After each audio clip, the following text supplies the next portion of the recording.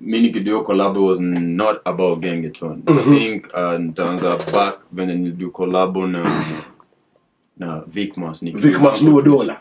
nilikuwa na urbanized culture mm -hmm. it's not about gang it is- ni urbanize ile traditional culture yetu Okay. unaona so ukisikia banquet which is, was a not just a music is a lifestyle ya hiyo culture ya the luos Okay. unaona mm -hmm. so u boy pia venye alikam studio akaniambia kona ma sijui koras kama 20 akapiga chorus kama kumi.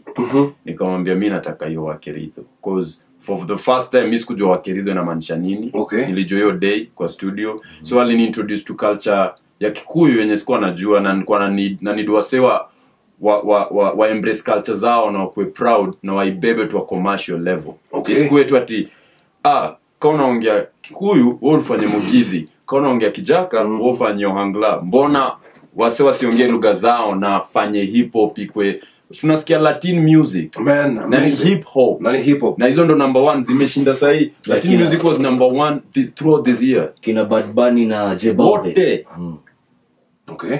number one in their native languages. Unaona? So ukasema man, nikasema let's do that. eh, nikasema hey, si tufanye hiyo.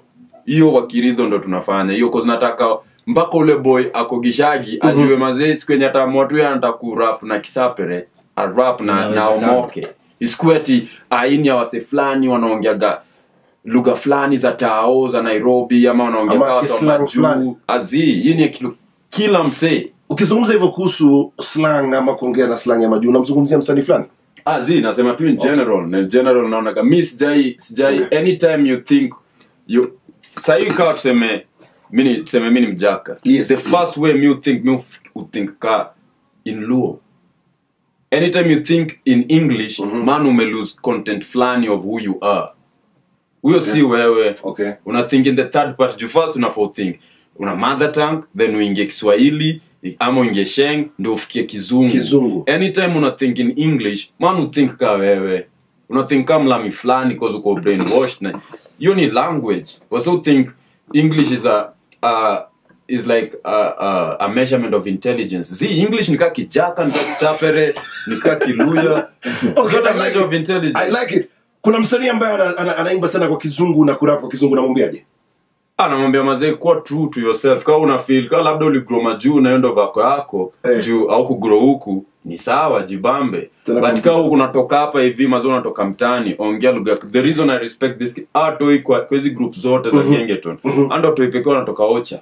Atoki nairobi. And now, now that you mentioned Gengeton, nataka kujua your take on Gengeton and, and then is it a wave ama ni mziki kwa hapa to stay? ah hiyo ni wave. Ni wave. mi kwenye understand na unaona kwa hii the fact that niliwatoa hapo nikaweka kwa beat ya hip hop. In fact niko naambia wase the other day there's no in the last two years there's no song that is more hip hop than wakeridho. Okay? Mm -hmm. period. You know why? Because mm -hmm. wakeridho is the only song and video that iko na every element of hip hop one iko be b-boying watoto na b-boy. We have graffiti. Yeah. mm -hmm. we have the dj and we have rap.